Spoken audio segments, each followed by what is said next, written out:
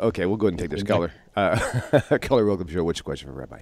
I have a question that uh, I think I would be happy if uh, Rabbi Tov would answer me because it's according to the New Testament. Why do you think that Luke invented the whole story about the census and going to from Nazareth to Bethlehem so Jesus would be born in Bethlehem?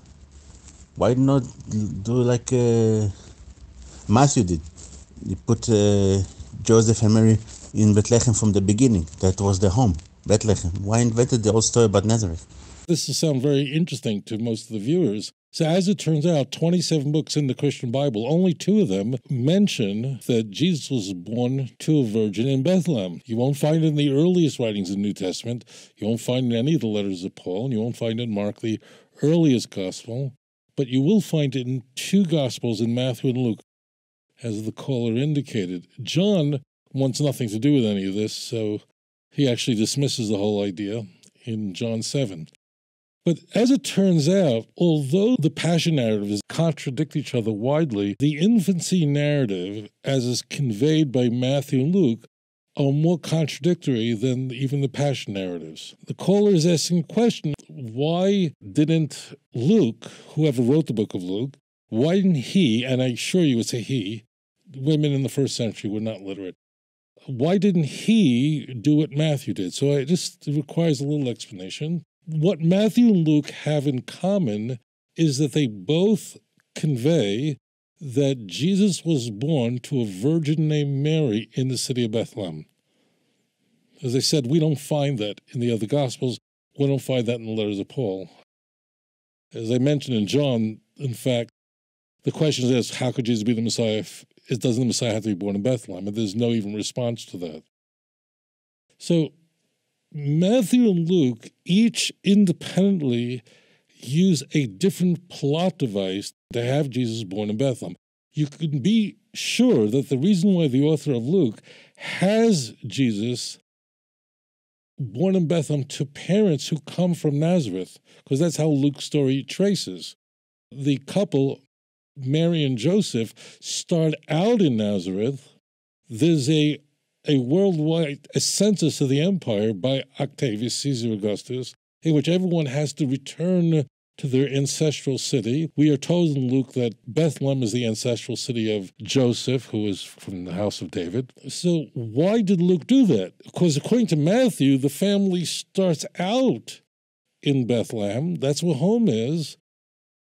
And then they, the family is forced to go down to Egypt to escape the slaughter of the innocents, and then eventually they don't go back to home, Bethlehem, but they're warned rather by an angel that you go somewhere else, go to Nazareth, don't go back to Bethlehem because Herod Archelaus is now in charge, and he's crazier than his father. Why would Luke do that? And the answer is that Luke was trying to stay closer to the truth.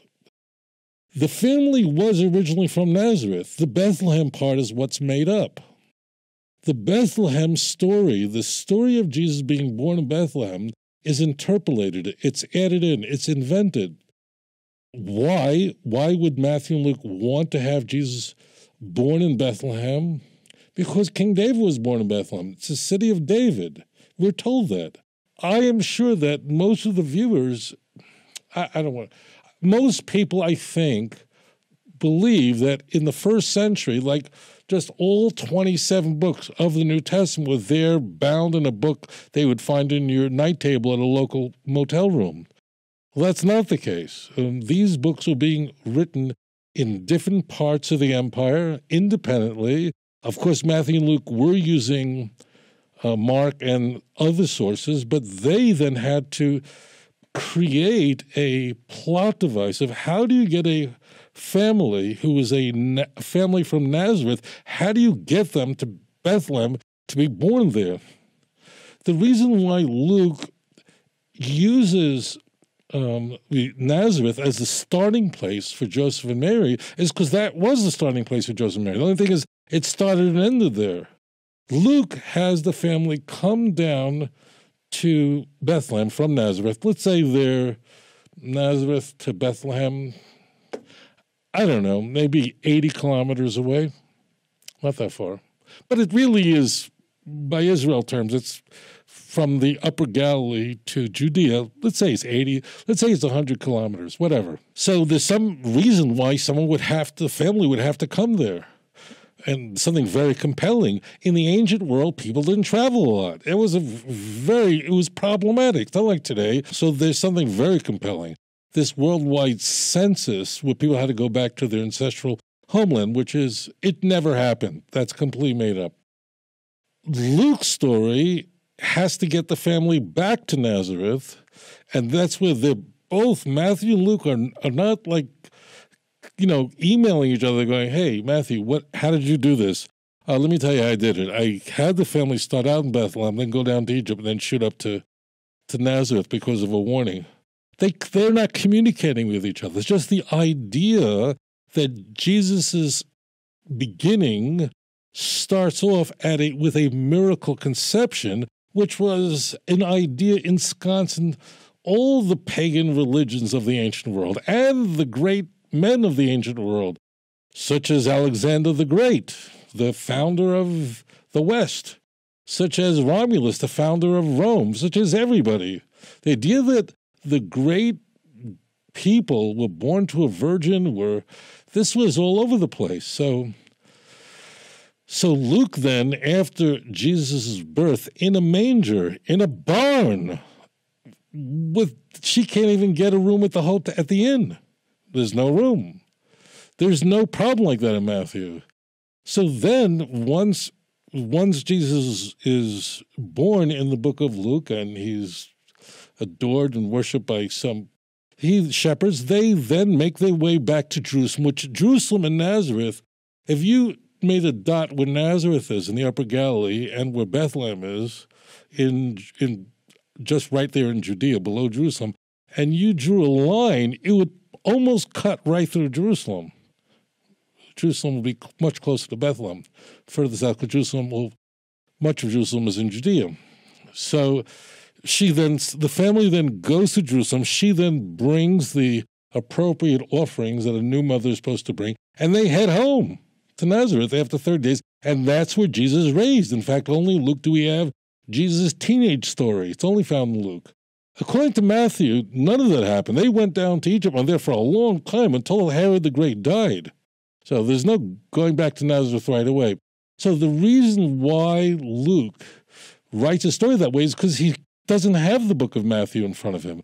I don't know if Luke was sure that his book would actually get published. But remember this in the ancient world, in the first, second century, people didn't have all four gospels in front of them. We find that already in the second century that references are being made to the words of the apostles. And finally, by the time of Irenaeus, the Bishop of Lyon, that's 180 or so, then we have the identified books that Matthew was by Matthew, Luke, Luke, and so on. And that's, don't forget about what people tell you about Papias. So that's the reason. Luke just took a very simple thing.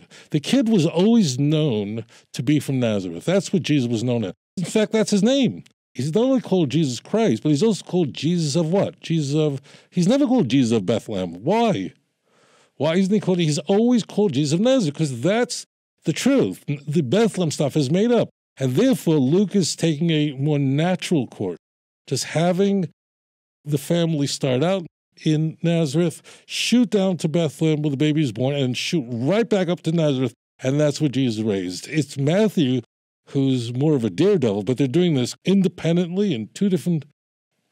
I don't know where they were, but they sure weren't looking over each other's shoulders, or they would have, you know, copied this plot device, and they didn't. That's why they're so widely different. They're so not just diverse, but so completely contradictory. That's a really good question. Luke just took a natural route.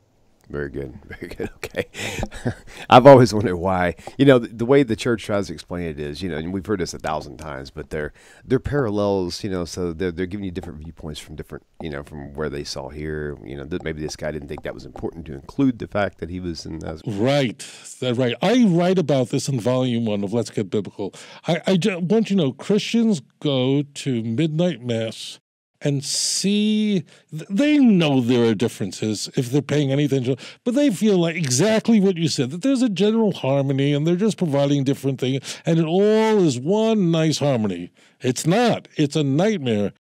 The two stories don't work. It just goes side by side. They're actually they're reversed. They're shooting in two different directions. And what happens is precisely what you see when you compare matthew to luke talking about the infancy narrative what you see is exactly what you'd expect two people independently inventing a story and they're not even close. They're completely.